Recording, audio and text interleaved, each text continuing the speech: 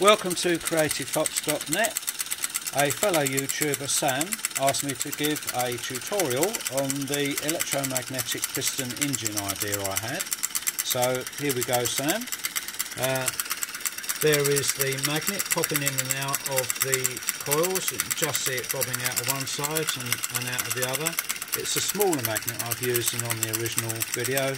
Not quite so impressive, but it still works. You still got the idea.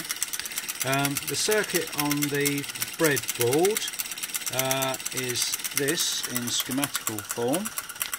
Uh, here is uh, IC, here is the 555 IC, uh, delivering just a bit more than 6.5 hertz, uh, 1 meg and uh, 1 microfarad. This delivers a square wave to these two 2N3904s which are arranged to give an anti-phase square wave signal into this H-bridge circuit which was originally designed to run a motor, you can see that.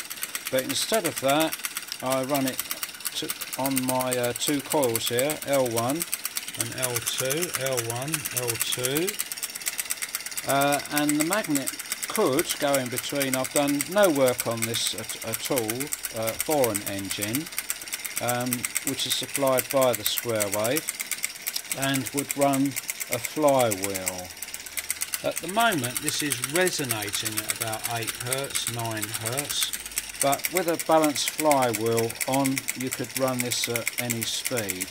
On here uh, there's a control circuit uh, with a sensor. Now again I've done no work on this at all which uh, could go back to a control circuit and in turn drive the multi-vibrator.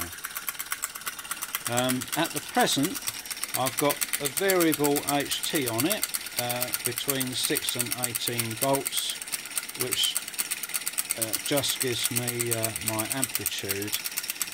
Uh, I did originally have a uh, PWM, but that's that's redundant, so I don't use that. I just use my variable power supply. And you can see there it's running at about 9 hertz. So Sam and any other YouTubers that were interested in this uh, little experiment, I hope that's been helpful.